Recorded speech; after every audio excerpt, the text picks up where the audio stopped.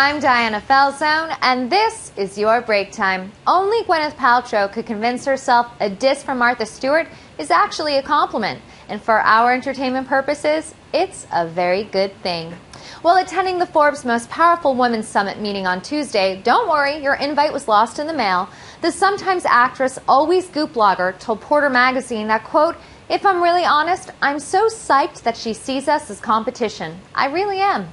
Gwenny, dear, Martha doesn't really see you as competition. She sees you as incompetent and thinks you should stay in your lane, saying she just needs to be quiet. She's a movie star. If she were confident in her acting, she wouldn't be trying to be Martha Stewart.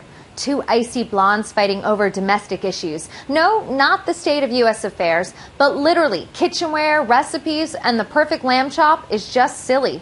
Go have a cupcake for you two, see who wins, and then get back to us. Glad we settled that.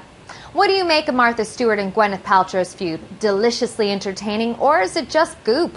Let us know on Twitter with the hashtag Fox411.